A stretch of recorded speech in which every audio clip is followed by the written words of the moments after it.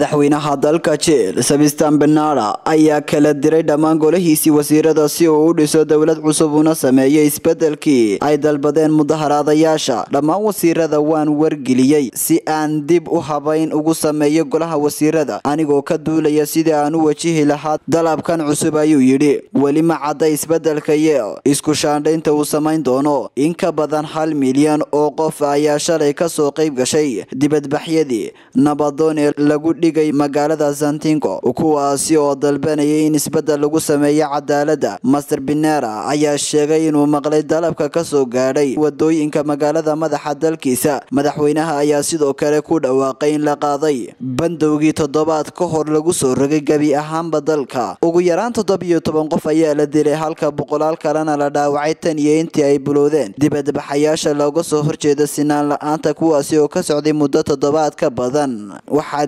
dibadbaxayaashu dibadbaxyada markii hore bilaabeen kadib markii sare loo qaaday lacagaha lagu raaco gaadiidka dadweynaha balse markii dambe mudaharaadayaasha ayaa sii xoogeystay iyada oo dalbanayay in maciishadaha la raqiisiyo iyo sidoo kale in la soo afjaro sinaan la'aanta ka jirta dalkaasi cabdirashiid maxamuud maxamed cabdirashiid hudhud wararka star t v